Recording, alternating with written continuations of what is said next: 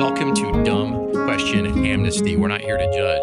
Today happens to be National Ask a Stupid Question Day here on US 99, Chicago's hottest country. Jason and Katie in the morning. What's your dumb question? Three. We're not going to judge. 312 946 4995. This is it. We ask them all the time. Uh, why do you stare at like the when the ceiling blades go around and around on the fan? Like, why do you always stare at that? Like, why don't you stare at something else? It makes you fall asleep. I- is that just a Is you thing, why? Jason? I think it makes you No, fall I asleep. think there I don't know peop- if this question has an answer. I think, I think there are other people that do that too. I don't know. Okay. Catherine, you're in Hinsdale. Good morning. You're on with Jason and Katie on US 99.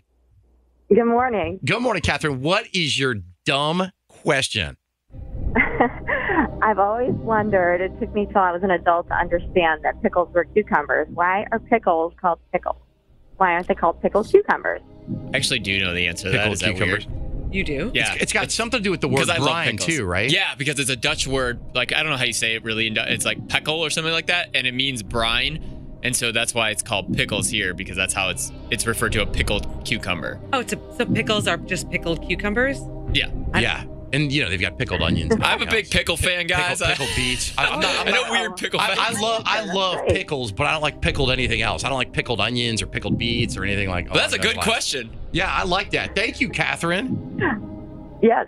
You were just on dumb question amnesty. No judgments. Pickle day. That's right. Adriana, you're on the south side. Welcome to Good it. What- morning. good morning. What's your dumb question?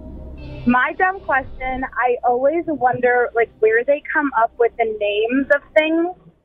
Like how do you put letters together to figure out like what a spoon is called? Like why isn't a spoon called something else? That Yeah. you are asking. This is what my three-year-old asks Yeah. me all the time. He'll say, "Well, why is the neighbor's cat a cat?" I'm like, I, I, don't, I don't know. I don't know. That's the like mind blowing idea. matrix stuff. Like there is no spoon. You're like, yeah, I know. I called it. A, what if we called it a fork? That's a good question. I don't know. Because God created the fork. I don't know. I God created the fork. I, that is my answer for everything. Okay. Yes. I mean, God named the spoon. Sorry. That's the I'm answer. teacher, so I get those questions all the time. I Like, bet. like what is like why is it called this or why is the color red red? And I'm like, I don't know how to answer I- my Why is my the sky blue? questions. Well, that has Yeah, an answer, yeah, Jason. right, that's yeah, that's yeah. a different question. The sky is blue because of the I reflection of the water. No patience for those sort of things. Like honestly, when my three-year-old starts asking me questions like that, I, I don't It just drives you crazy. know. Yeah. Uh, Becky, good morning. Good morning. Uh, where are you from? Hampshire, Illinois. Hampshire. All right. Okay. Thank you for listening to US 99. You're on with Jason and Katie. What's your dumb question this morning? Why are the keys on the keyboard in reverse order than the telephone?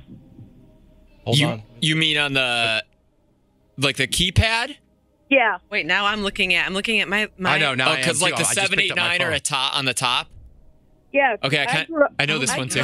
Wait, wait. You know this I do know the too? answer. She's right. I've never even noticed that before. How do you know all of these? I, I know weird weird facts, but it's because it, when the telephone was invented, it was in the 50s or whatever, and data it was for data entry people who are used to using calculators. So when they use the keypads, that's what they were mostly using it for data entry. So they're used to calculators being in that order.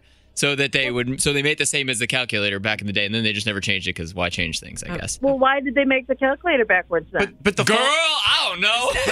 That's where the question's end, right but, but, but the phone wasn't in the 50s. The, the phone was Or like whenever in the 1800s. What? No, the Alexander Graham. Uh, Alexander Graham Bell in 1876. yeah, but, that was yeah. rotary phones when they came back Yeah, with the dial. Okay, yeah, yeah, yeah. Oh, I got you. The dial. Okay, the But it had nothing to do with the Right, phone. yeah, it yeah. had to do with calculators. So the phone came afterwards. So they just decided to make the phone Gotcha. opposite. Okay. Yeah. I don't know. Dumb question amnesty. And the computer such- came after the phone. No such thing as dumb question here this morning. That's right. Scotty is you're a wealth not. of knowledge. You really, I know you really, really weird. are. I always Scotty. watch that show, How Things Work. So you ever watch that? What? No, I'm the only one. What? Nope. Yeah. Cool. Yeah, yeah, yeah, All right. You are. US 99.